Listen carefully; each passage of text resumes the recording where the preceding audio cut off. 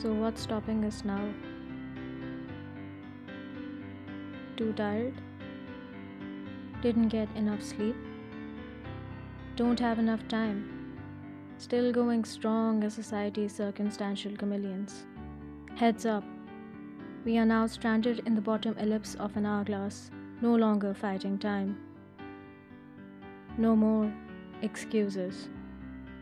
A new dimension of creativity catch up with those who matter? Take a moment to just sit back and breathe.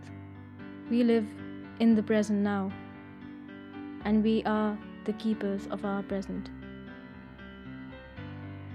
Amongst us are promising individuals striving while stranded far away from home, but with unshakable determination.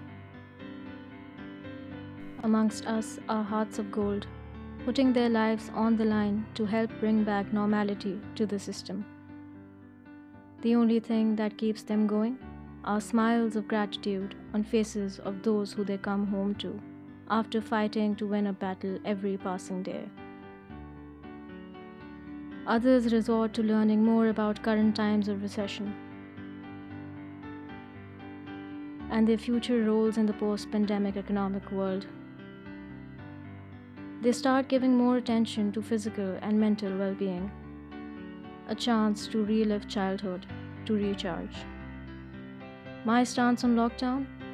While you and I stand still, everything else begins to finally move again. I succumb to hearing anecdotes of my family's heritage, stories of immense struggles lost in time translated into my prolific attempt to vivify.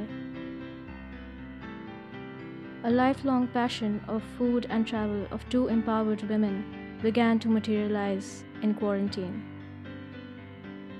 and became the chance to inspire the world and branch out internationally.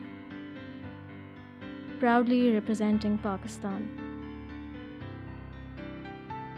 While lockdown seemed to have kept everything at a standstill, I began to retrace my steps in my own pace.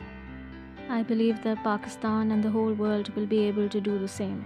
But for that, we must acknowledge that if you and I stay still, only then will everything else begin to move again.